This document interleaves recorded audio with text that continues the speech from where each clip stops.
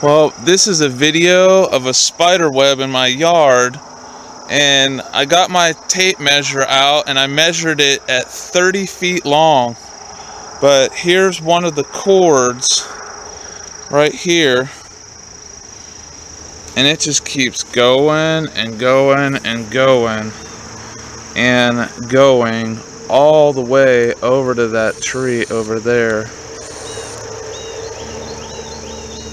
And I hope I could get this in on video because all it is is just one little string. I don't know if my camera's high definition enough.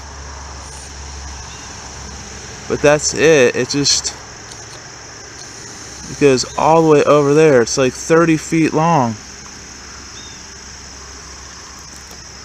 like that and then it comes to this I'm up on a ladder right now because it's up kind of high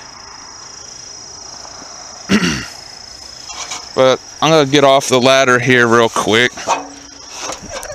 and then kind of go back. Like there's the center of the web.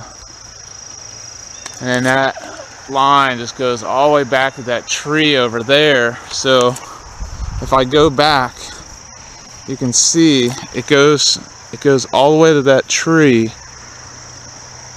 Like right there I gotta get back even further from right there and there's the there's the web and then there's a line that goes all the way across 30 feet to that tree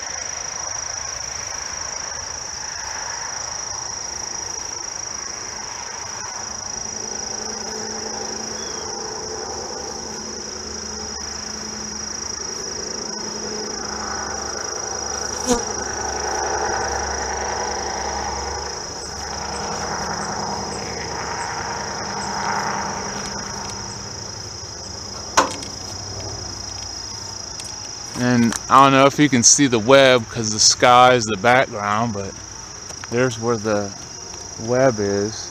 There's the spider that did it right there.